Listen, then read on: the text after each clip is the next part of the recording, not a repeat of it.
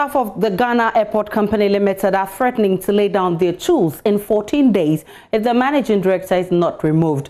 The staff in a petition have accused the MD Yaw Kwakwa of mismanagement and other conduct they say are not in the best interest of the company, particularly outsourcing at exorbitant costs, key aspects of the company's operations that could be handled by internal units. Kwikwa Santi was at the airport earlier and reports there were red strips all over the premises.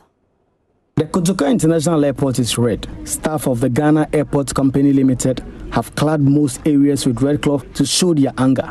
According to the union, they want the managing director of the company, Mr. Yaw Kwakwa, out for what they say is his gross neglect of the needs of the staff of the company. So as you can see behind me in your shot, the Ghana Airport Company Limited, the staff are up in arms against the managing director of the company, Mr. Yaw Kwakwa. They are saying he should be removed by the president. They've actually sent a petition. I'm quoting, as leaders of the Divisional Workers Union representing the entire general staff body, we are convinced after engagement with our members at the headquarters and the regional airports that the only way to get the company back on its track and achieve the president's vision of making KIA an aviation hub in the sub-region is the removal of the managing director. Here is Abdul Isa Kabamba, leader of the Ghana Airport Company Limited Workers Union.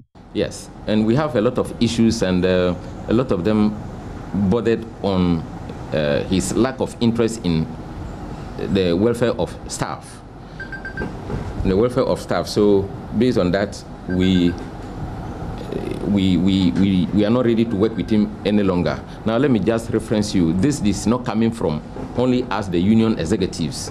Before this decision was taken, uh, the executives used almost two months to engage staff. He's not taking care of our welfare.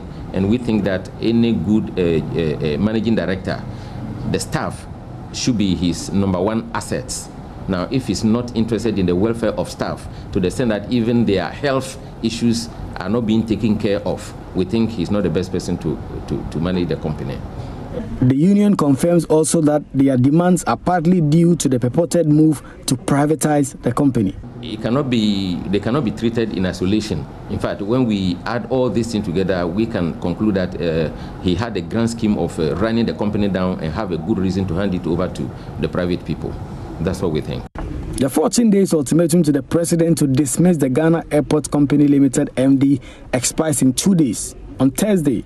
It is left to be seen what other action the staff will take to press home their demand. But for now, their stance remains that the MD has demonstrated gross incompetence and also a lack of critical understanding of the aviation industry, hence his continuous stay will derail the progress of the company.